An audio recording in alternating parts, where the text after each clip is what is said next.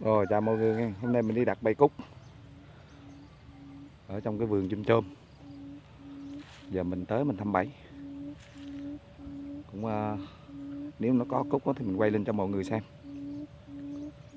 Giờ bắt đầu mình uh, Đi thăm đây mọi người. Mọi người có nghe là cái tiếng uh, Máy nó kêu đúng không? À có dính rồi mọi người ơi. Đó đó mọi người thấy không? Có dính rồi có dính đây. Đây đây đây. Được một con. Đó đó đó được một con đây mọi người ơi. Đây đây đây đây. Đây. Mọi người xem đây. Một con cúc. Đây là cúc lũi nha mọi người. Này.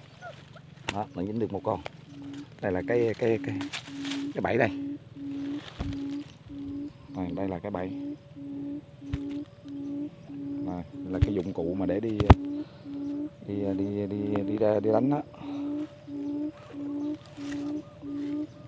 thì à, mình à, đặt ở đây là bốn cái bẫy.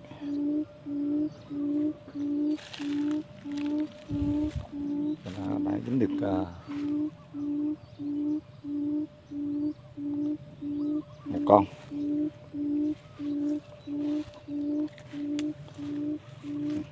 Còn đây là cái cái máy.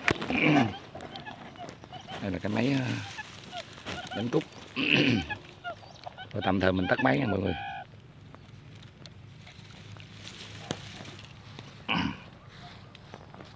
Đây là cái giường chôm chôm.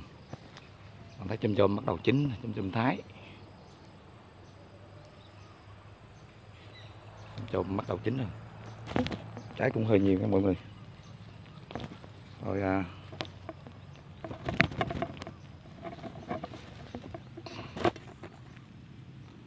rồi